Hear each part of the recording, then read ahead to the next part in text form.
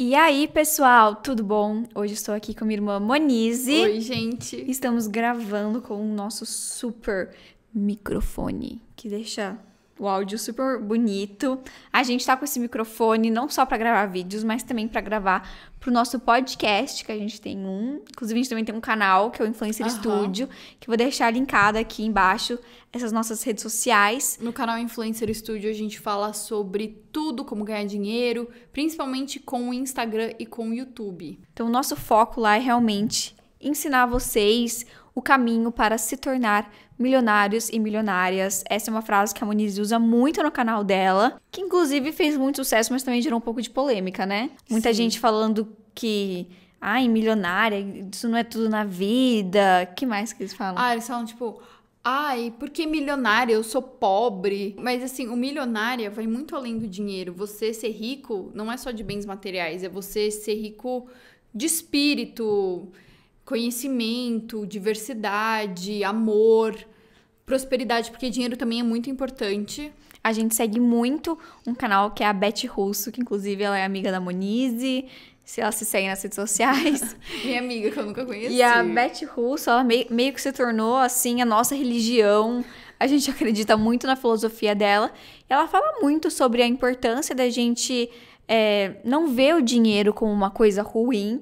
No Brasil tem muito essa coisa da crença limitante de ver o dinheiro como algo que só traz infelicidade. Quando você tem muito dinheiro, você é uma pessoa ruim, você é uma pessoa mesquinha, egocêntrica, como se uma pessoa milionária é o contrário de uma pessoa humilde. Na verdade, a humildade é uma virtude. Você ser humilde não é não tá nada relacionado ao seu dinheiro. Dinheiro é uma condição. Hoje eu posso ser rica, amanhã eu posso ser pobre, hoje eu posso ser pobre, amanhã eu posso ser rica, mas a humildade, ela não muda do dia pra noite. É uma coisa que tá dentro do nosso caráter, é uma coisa que vai muito além. E outra, também você ter dinheiro é você ter o poder e a liberdade de, inclusive, ajudar até quem você ama. Um exemplo disso é o Paulo Gustavo, que foi um ótimo ator, comediante. É, antes dele falecer, ele doou mais de um milhão de reais. Meio milhão. Meio milhão de reais só para ajudar Manaus quando teve aquela, aquele problema do oxigênio. Então, ele não é pobre, mas ele é muito humilde. Então, ter dinheiro é você ter o conforto de você saber que você está preparado para alguém da sua família que fica doente. Ou Mesmo poder se permitir dizer não para certas coisas. é você poder escolher, ah, hoje eu vou comer no barzinho, mas amanhã eu quero ir num restaurante caro comer um sushi. Então, eu acho que você, o dinheiro te dá a opção é a liberdade de ter escolhas. E escolha é a coisa mais libertadora que, que, que tem. E, enfim, eu queria muito falar um pouco desse assunto, porque eu sei que muita gente às vezes acaba é, vendo a gente como meninas fúteis, como meninas que só Ai, liga. Que é mimadinha pela mamãe, pelo Que é mimada papai. pela mamãe, que só liga pra bens materiais. E eu não tô aqui pra negar que a gente É, não é mimada. Não, é gente, mimada, eu sou E mimada também não é uma coisa ruim. ruim, não. Eu sou muito grata por ser mimada pelos meus pais, por eles é, terem tido a oportunidade de fornecer uma vida tão boa pra gente, coisas que eles, eles quando jovens, não tiveram. Então, eu sou muito privilegiada de eu ter estudado na numa das melhores escolas do Brasil, crescer numa, numa casa estável, com uma família estável, que sempre me deu muito amor, que me deu muito carinho.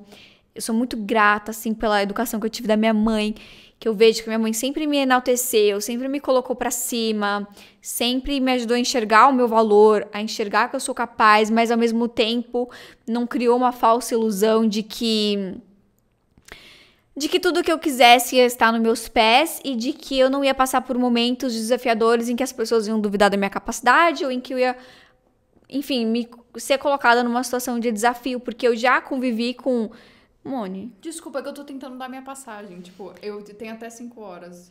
porque eu já convivi com pessoas que não aceitavam não, que não aceitavam receber uma crítica, inclusive, nossa, eu tô viajando aqui nos meus pensamentos, mas por exemplo, eu estudei numa escola internacional no Brasil, mas que era uma escola americana. Então, todos os meus professores, eles eram gringos, maioria, né? Era metade, metade, porque eu ainda assim, eu tive um pouco, eu tive aula de português, eu tive história do Brasil, mas matemática, ciência, inglês, tudo eu aprendi com professores americanos. E a mentalidade é muito diferente. Com professores da Inglaterra. E o, a forma com que eles educavam a gente e tratavam a gente dentro da sala de aula era completamente diferente de quando eu estava na sala de aula com uma professora. Então, eu vejo que no Brasil a gente mistura muito mais a emoção, o sentimento com o trabalho. Na aula de português, todo mundo chamava a professora de prof, de pelo nome inicial dela, né? Então, se o nome dela era Camila, todo mundo chamava ela de K. Oi, K, oi, prof, tal, me ajuda aqui. Se eu tirava uma nota boa, eu ia lá mendigar a minha nota, por favor, sobe e... um pontinho. E aí, a professora falava com jeitinho, né? Ai, isso aqui não tá bom, que o que, é tudo... Era mais fácil de você magoar o professor. Enfim, eu sinto que é muito mais sentimental. Já nos professores americanos, era assim, não entrou na sala, no primeiro minuto, é fecha a porta na sua cara, é chega e fala, isso aqui não tá bom, arruma isso aqui e tal. Muito mais é, ao ponto, muito mais disciplinado, muito mais certeiro. E também, assim, no Brasil, eu percebo que existe tanto na.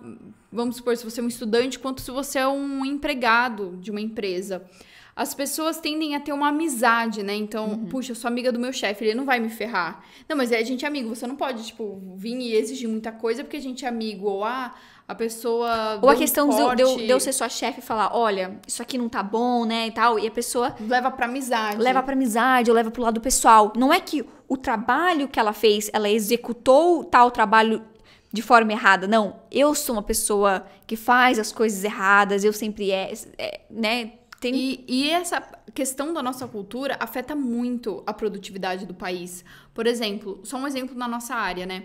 A gente tem um curso que a gente ensina as pessoas a ganharem dinheiro com a internet. E muitas pessoas falam: "Ah, eu quero, mas eu tenho medo de começar, eu tenho medo do que as pessoas vão achar".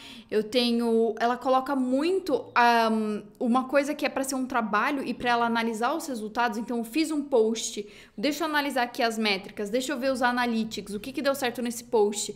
Ela não vai olhar nessa questão mais analítica, ela vai olhar aquele post como uma questão emocional. Então, ah, ninguém gosta de mim. O post não deu certo. Disso. Eu não sou boa o suficiente. Ou será que foi o seu conteúdo? que não foi bem executado, você não postou na hora certa, você não mirou para o público certo, não. Ah, eu não sou boa o suficiente. As ah, pessoas não gostam de mim, as pessoas não blá blá blá blá blá. É, por isso que inclusive uma dica que a gente dá no nosso curso que eu falo é, quando você vai postar um stories, não pensa em você, não pensa na sua imagem ou como você está falando, pensa em como eu posso ajudar os outros. Pensa apenas no conteúdo que você está passando. Aí eu vou ensinar essa receita para ajudar alguém. E não para favorecer o seu ego. ego e não para você receber elogios, né? Quando a gente faz algo esperando um ser mimado, ser enaltecido na nossa imagem, na nossa característica, isso fica muito limitado, isso diminui a nossa percepção de mundo, de grandeza, de, de onde isso pode chegar, né? Então,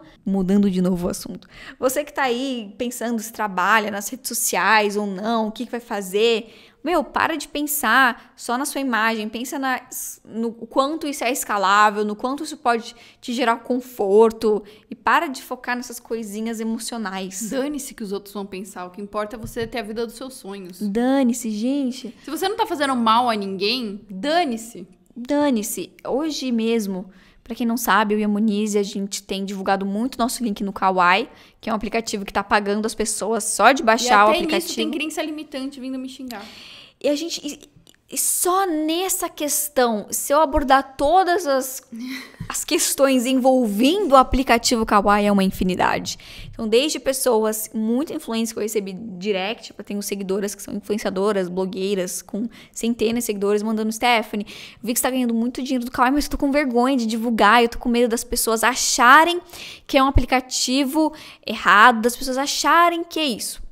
Bom, primeiro você pode explicar o que, que o aplicativo é e tudo bem, você pode ter sua vergonha, mas. Eu faturei mais de 25 mil reais. Você a acha gente... que eu tô preocupada com o que os A gente tá aqui faturando e a pessoa tá ali se limitando à vergonha e o medo dela. Então. A gente já tá metendo. A gente já tá criticando todo mundo, né? A gente tá aqui né? refletindo, Alguém né? Alguém vai ser ofendido com isso. Ai, de novo, a gente tá pronta pro. A gente tá pronta pra isso. Inclusive, pro canal da Muniz, a gente fez esse mesma vibe aqui de podcast, mas falando sobre procedimentos estéticos. Vão lá assistir, porque eu falei muito sobre essa percepção que as pessoas têm da gente de ser, sei lá, louca da plástica, sendo que eu fiz uma plástica na minha vida, que foi na minha orelha, que nem deu certo. E agora eu tive que refazer. Então, enfim.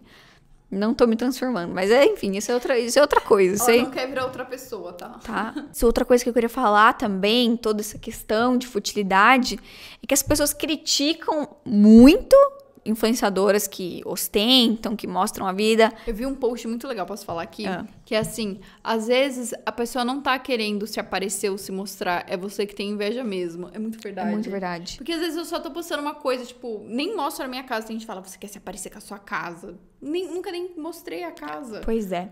E aí, de novo, as pessoas criticam, mas analisando analiticamente, estatisticamente, é o que dá certo. Às vezes eu fico pensando, meu, será que eu faço outro vídeo no shopping? Será que eu faço outro vídeo de comprinha? Será que não vai ficar demais? Mas é o que bomba. É o que dá certo, é o que tem o maior índice de engajamento, é o que as pessoas querem ver. Então, o que a gente ensina também no nosso curso é como é que você faz para criar bons conteúdos, para crescer, enfim. Analisa o que tá dando certo e reproduza, reproduza, reproduza. Tem muita gente que quando tá criando um canal no YouTube fala assim: "Ai, eu tô sem ideia de vídeo, porque eu já postei um arrume-se comigo, eu já postei aquilo, já postei isso". Tá, e aí você só vai ter um arrume-se comigo no seu canal. Não, pode.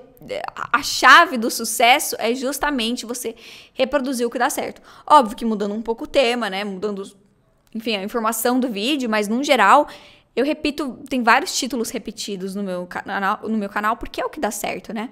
Então já tá aí uma dica. Gente, isso aqui tá sendo uma aula de.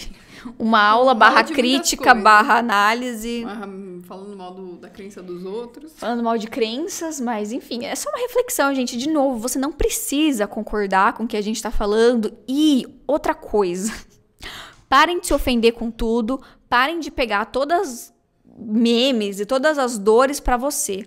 Esses dias a Muniz postou um TikTok falando assim, um TikTok não, um, Reels falando benefícios de se casar antes do 25. E ela fazia assim e não aparecia nada. Sabe aquele tan, tan, tan, tan, e daí não aparece nada. Querendo Tipo, uma dizer que não zoeira. tem benefício de casar com, com antes dos 25. O que aconteceu? Bom.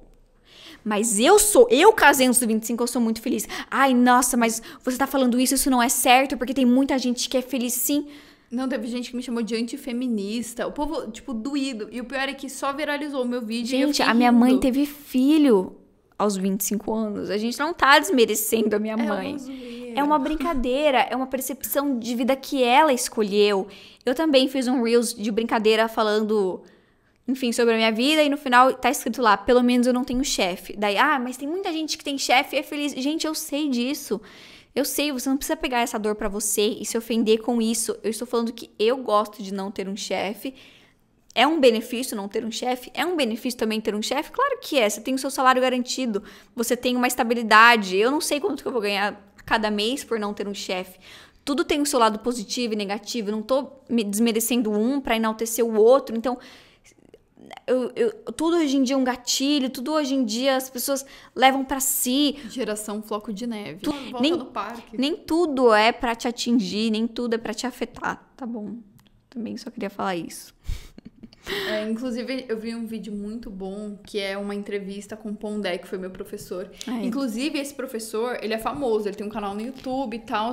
E ele sempre me zoava na sala de aula porque eu namorava um turco. Ele falava, essa é a, é a sala da menina que namora um turco. É, enfim, eles fazia, ele fazia várias piadas pesadas. Tipo, te zoava por namorar um É, turco. Mas assim, piadas pesadas mesmo, que nem cabe eu aqui falar o que ele falava. Mas assim, era, era uma brincadeira.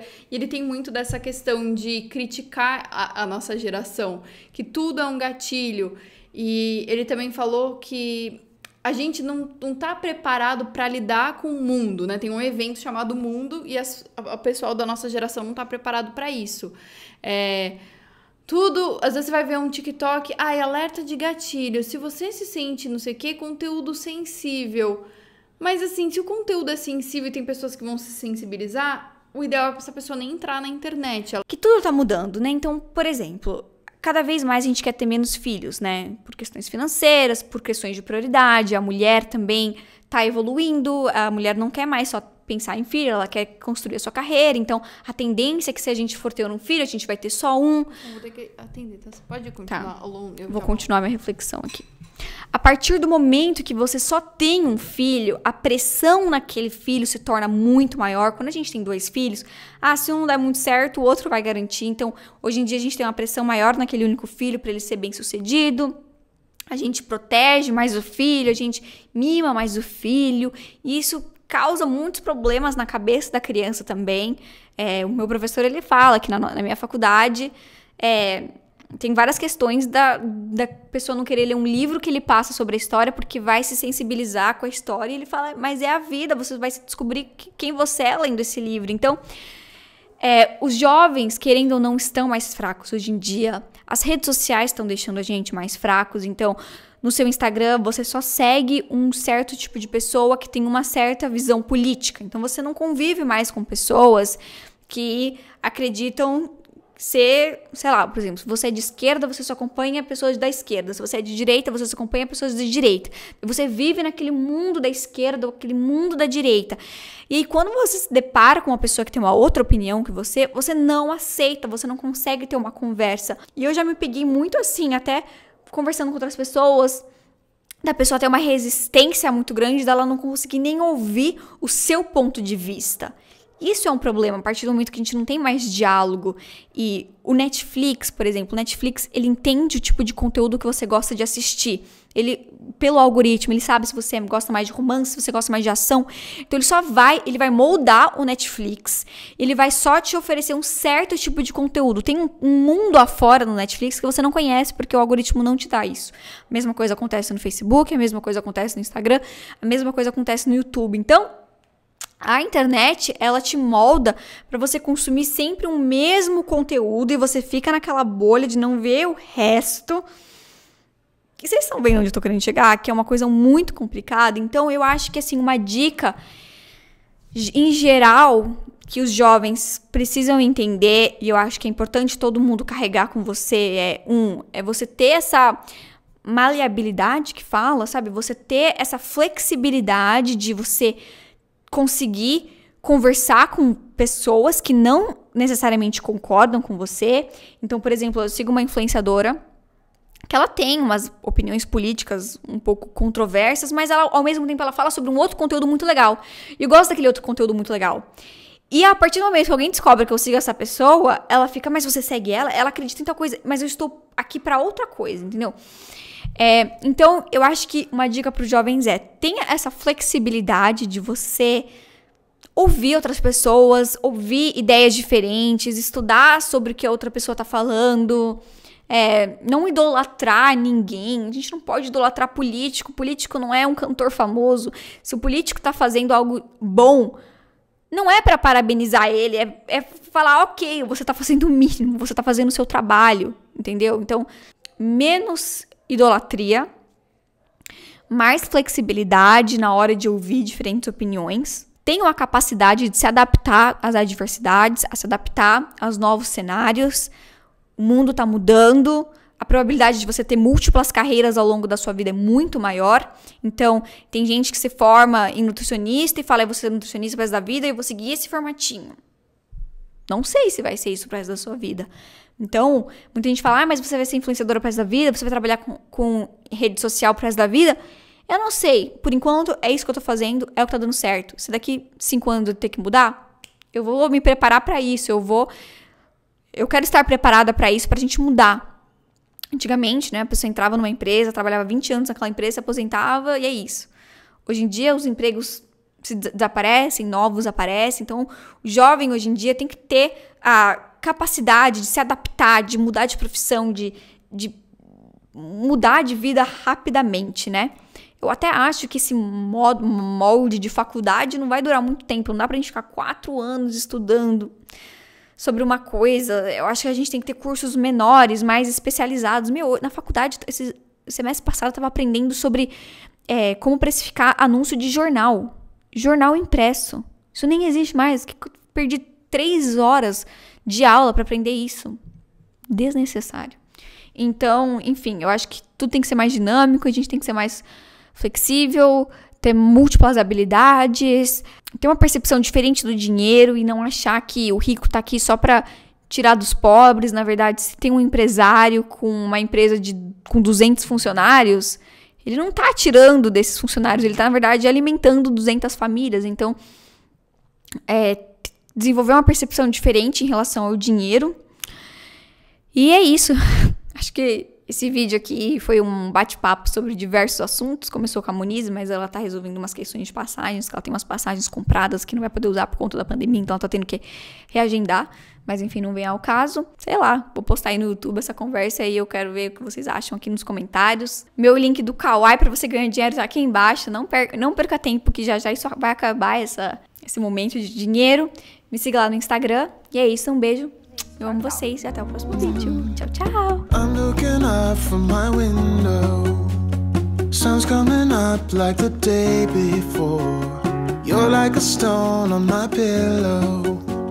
I don't make a sound when I shut the door. You don't have to